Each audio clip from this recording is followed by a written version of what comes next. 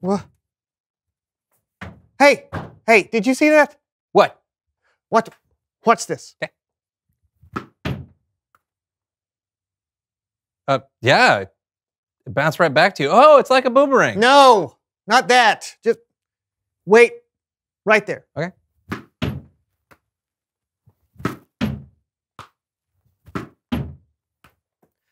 What did you do? Nothing. Leave. It's my basement. Leave Oh, now. Oof.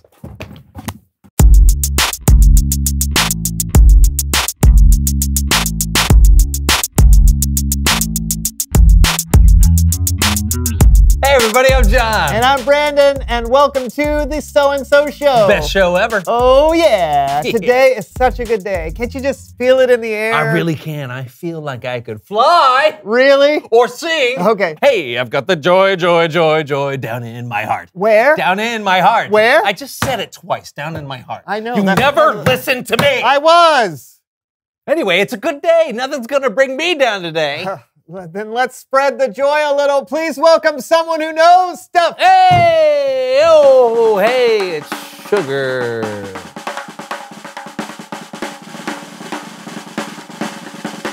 Hey, sugar, come on in. Yeah, come on. sugar, sugar. For people who don't know you, uh, who are you and what do you stink? I mean, I, who are you and what do you smell? Oh, what do you know? What, what do you know? I'm Sugar. I work at a carnival. Nothing else to tell. Nothing. I mean, nothing pungent. I mean, new to say. Nothing new going on in your life. No. Oh, don't mind me. I just uh, suddenly have a fear of my nose being shown on camera. I get it. Uh-huh. I smell bad. Yes! I mean, uh, what? You? The carnival had a health code violation, and now the petting zoo is at my house until further notice. Oh. Sounds fun. all those cute little animals hanging out with you all the time. I mean, you could pet them whenever you wanted to, whenever you just. So, uh, what kind of, kind of animals are in your petting zoo? One llama, four ducks, two goats, five rabbits, three pigs, two turtles, a lemur, and a cat. You have rabbits? Let's go to your house right now. You want to meet one of them? You brought them with you? Yeah. So? I'd like to meet a lemur. And I'd like to meet a kangaroo. Which one do you want to meet? Flurry, Flurfy, Fluffy, or George? Uh, so many choices. Oh, Fluffy! I want a Fluffy bunny! All right.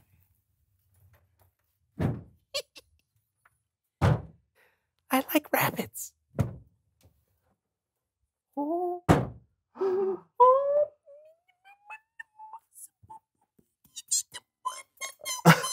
Okay.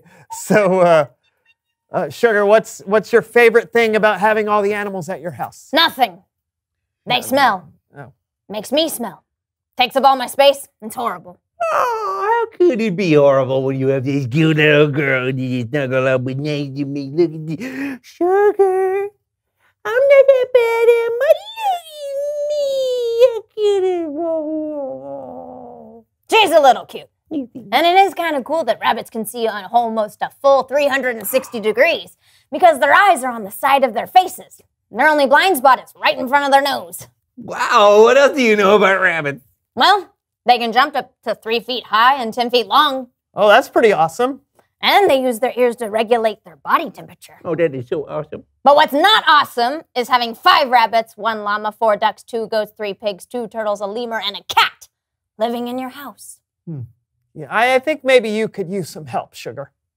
You want two goats? No, no. What I want is Bible story time with Kellen.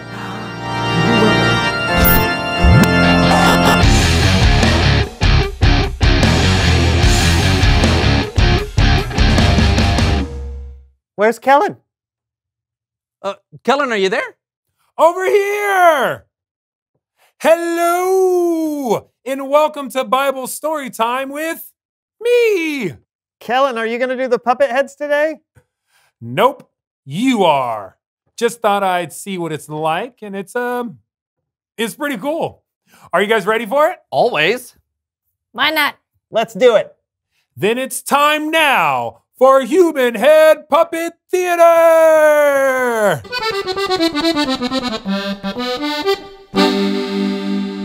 You can read this story yourself in the book of Acts. It's about two Jesus followers who helped spread the gospel a couple thousand years ago.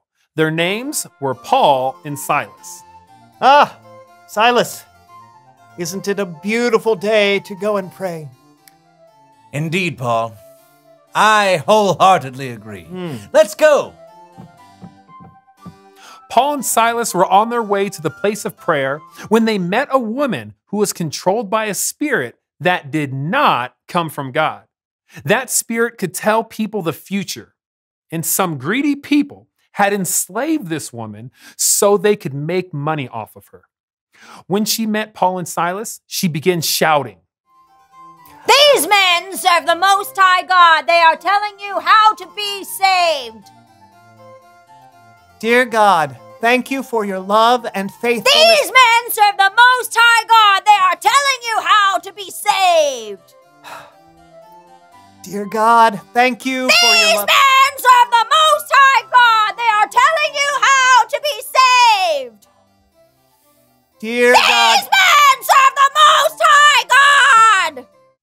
This went on for a while, many days actually. are you going to These men serve the Most High God. They are telling you how In to. the name of Jesus Christ, I command you, come out of her. oh, wow. I feel like myself again. Thanks. The spirit came out of the woman. Those who had enslaved her were not happy with Paul after that. He had just ruined their way of making money. So they grabbed Paul and Silas, had them beaten and whipped, and thrown into prison. And stay in. Don't go getting any funny ideas about escaping. I've got my orders to keep my eyes on you.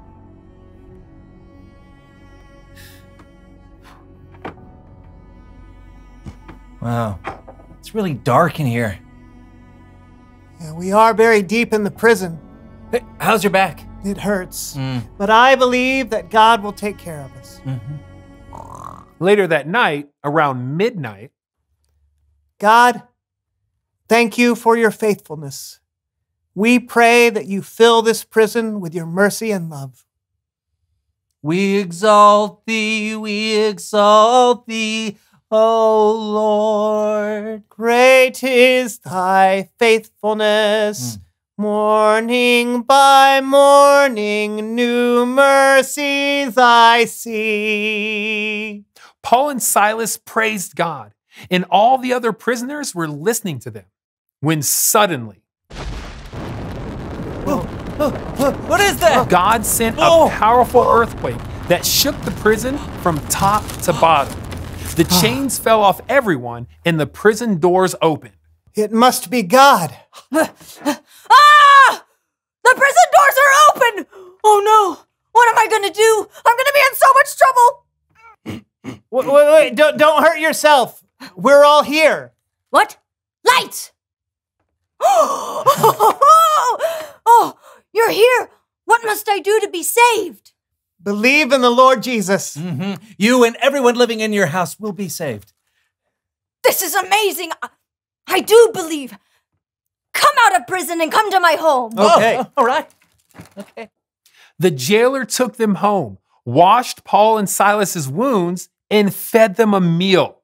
Everyone in the jailer's house believed in God and they were baptized. The next morning, the people who had thrown Paul and Silas in prison finally set them free. The end. Wow. Thanks, Kellen. Yeah. So Paul and Silas were beaten up and put in prison, and they didn't even do anything wrong. Yeah, What a tough situation. Seriously. yeah. But instead of spending their time feeling sorry for themselves or complaining, Paul and Silas prayed and worshiped God. They found a way to choose joy even when life got hard. That's pretty amazing. Yeah. Thanks, Kellen. You bet. Later. Bye. Oh, How awesome is that? Oh, and Sugar, good job. Thanks. Hmm. Hmm. You know, Kellen is pretty smart. I've been complaining about my animals so much, I haven't been able to find the joy in having them around. Hmm. Choosing joy is going to help me keep going. That's what I was trying to tell you earlier. Stop. okay.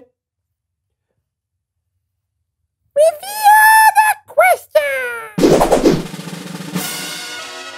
What helps you keep going? Oh, yeah, that's a great question. You know, when things get hard, feel impossible, or even painful, what are things that help keep you going? Uh, praying or singing songs to God like Paul and Silas can Mhm. help. Or you could try remembering things you're grateful for. Sometimes I just need a good friend to talk to. Oh, sugar.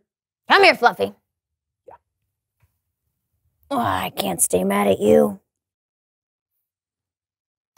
Talk about it together. What helps keep you going? And we'll see you next time. I'm John. I'm Brandon. I'm Sugar.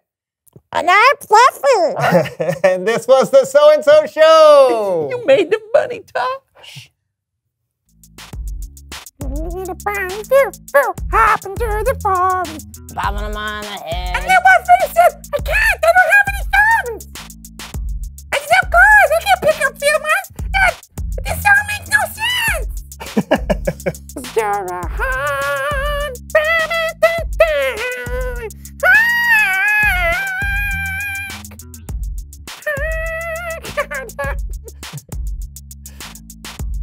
Hey, you know what? The kids love Chicago.